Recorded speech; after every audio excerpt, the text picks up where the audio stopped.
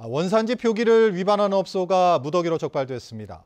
제주도 자치경찰단은 추석을 앞두고 부정식품 유통 행위를 집중 단속해 중국산 메밀가루를 제주산으로 표기한 업소와 유통기한이 지난 식자재를 보관한 업소 등 12곳을 적발했습니다. 적발된 업소 가운데는 터키산 반건조 무화과를 국내산으로 표시해 판매한 빵과 음료 제조업소도 포함됐습니다.